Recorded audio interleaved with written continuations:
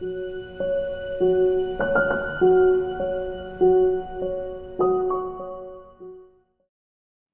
ঠিক অপর পারে পৌঁছাইতে গেলে যে থিওরিগুলো আমরা করছিলাম, সেইখান থেকে আমরা এখন একটা ম্যাথ করব। এখানে বলা হচ্ছে swimmer is trying to reach the opposite point of the river তার মানে নদীর ঠিক অপর প্রান্তে পৌঁছাতে চাইতেছে এবং তার ভ্যালোসিটি হচ্ছে ফাইভ কিলোমিটার পার আওয়ার এবং এখানে স্রোতের বেগ বা the velocity of the stream এটা হচ্ছে থ্রি কিলোমিটার পার আওয়ার তার মানে আমরা এখান থেকে দুইটা ইনফরমেশন বের করে ফেলতে পারি। একটা ইনফরমেশন হচ্ছে যে বোটের ভ্যালোসিটি বা সুইমারের ভ্যালোসিটি যেটা এখানে হচ্ছে ফাইভ কিলোমিটার পার আওয়ার এবং আমাদের ইউ বা হচ্ছে স্ট্রিম এটা আমরা বলি নদীর স্রোত, এটা হচ্ছে থ্রি কিলোমিটার পার আওয়ার তো দুইটা ইনফরমেশন বের করলাম। এখন আমাদের এক নম্বর কোয়েশ্চেন যেটা বলা আছে, যে বের করো যে in what direction should he swim to reach the opposite point মানে ঠিক অপোজিট প্রান্তে পৌঁছাইতে গেলে এই লোকটাকে আসলে কত ভেলোসিটিতে যাইতে হবে, এটা বের করে দেখাও।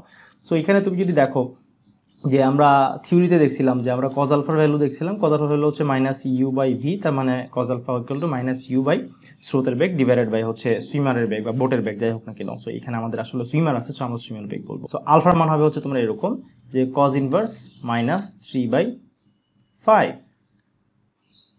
so cos inverse minus three by five আমরা ক্যালকুলেটারে যদি সলভ করি, তাহলে এটা হবে মাইনাস থ্রি বাই ফাইভ এটা আসে হচ্ছে one twenty six point eight six nine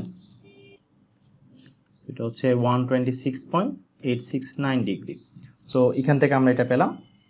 আচ্ছা দুই নাম্বার আমাদের আলফা পেয়ে গেলাম আমরা, এবং আমরা যদি এবার বলি যে, এই আলফাটা আসলে কোন আলফাটা এই আলফাটা হচ্ছে তোমার আসলে ইউর সাথে ইউ এর সাথে আসলে তোমার যে ভি এর যে অ্যাঙ্গেলটা যে ভি এর যে অ্যাঙ্গেল এটাকে আমরা বলতেছি আলফা সেই আলফাটা তোমরা পেয়ে গেলাম। আচ্ছা so what will be the resultant velocity তার মানে আসলে আমরা হচ্ছে গিয়ে জানতে চাচ্ছি যে আসলে লব্ধি বেগটা কত? সো লব্ধি বেগের আসলে ইকুয়েশন কি ছিল? লব্ধি বেগের ইকুয়েশন ছিল এরকম যে U V square minus U square এটার হোল রুট তো এটা যদি আমরা করি, তাহলে এটা হচ্ছে five square minus three square এবং তুমি এটা পাবা হচ্ছে four kilometre per hour okay so এটা পাবা হচ্ছে four kilometre per hour okay আচ্ছা সো এটা তুমি চাইলে W equal to V sin alpha দিয়েও করতে পারো। একই আনসারই আসবে, এটা আসবে ফোর ওকে সো এরপরে তোমাদের তিন নম্বরে চাওয়া হয়েছে কি? তোমাদের তিন নম্বরে চাওয়া হয়েছে হচ্ছে যে কোন, কত সময় লাগবে? আমার উইথ দেওয়া আছে বা নদীর প্রশস্ততা দেওয়া আছে হচ্ছে এইট কিলোমিটার এবং আমাকে চাওয়া হয়েছে যে আসলে কত সময় পরে আমি আসলে ঠিক অপর জায়গায় পৌঁছতে পারব, অপর প্রান্তে পৌঁছতে পারব। তো এটা আসলে কত হবে, এটা হবে ডি বাই ডাব্লিউ সো এটা খুবই সহজ। তো ডি হচ্ছে তোমার এইট এবং ডাব্লিউ হচ্ছে তোমার ফোর সো এটা আসলে লাগবে হচ্ছে টু আওয়ার্স ঠিক আছে? সো দুই ঘণ্টা লাগবে। আচ্ছা সো এখানে যে তিন নম্বরে যে কোয়েশ্চেনটা আছে, এই কোয়েশ্চেনটাকে আমি একটু মডিফাই করে লিখতে পারি যে what is the time needed to cross the river এটা এভাবে বলা যায় ক্রস দ্য রিভারের পরে আর একটা এক্সটেনশন যোগ করতে পারে তোমাদের, এরকম যে while covering lowest distance so while covering lowest distance so while covering lowest distance মানে কি? মানে হচ্ছে সবচাইতে কম দূরত্বে নদীটা পার করতে আসলে তার কত সময় লাগতে পারে? তোমাদের কিন্তু এক এবং দুই না দিয়ে সরাসরি তিন দিয়ে দিতে পারে।